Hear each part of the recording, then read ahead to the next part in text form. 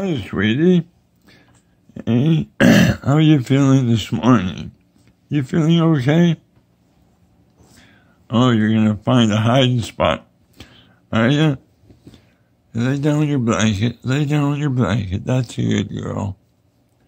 That's a good girl. You're trying to hide on me? You're trying to hide on me, Holly? Hey?